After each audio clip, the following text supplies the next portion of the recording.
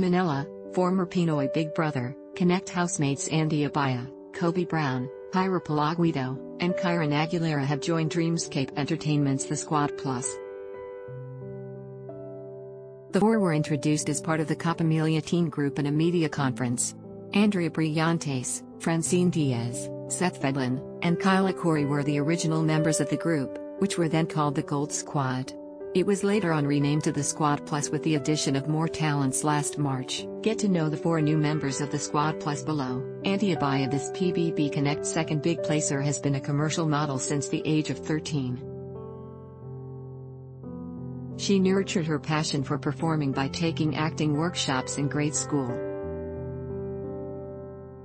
Now 19, she has developed more talents that make her showbiz ready, including dancing, singing, acting, and playing the guitar. Kobie Brown, the charming striker of PBB Connect and the show's third placer, is equally passionate about sports and showbiz.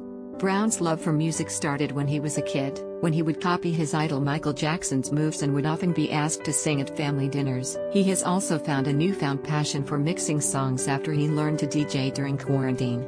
Kyron Aguilera becoming a competitive cyclist allowed this PBB housemate to come out of his shell and explore his strengths. After he got evicted, his supporters' love and encouraging words made him realize his potential to pursue his dreams, giving him the reassurance to face the next chapter of his showbiz journey. Haira Palaguitto This young PBB housemate has always dreamed of appearing on television since she was a kid.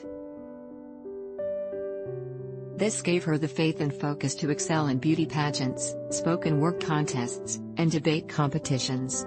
Currently, her live streaming hobby has also allowed her to enhance her talent for improvisation and way with words. Related videos, Adblock Test, Why?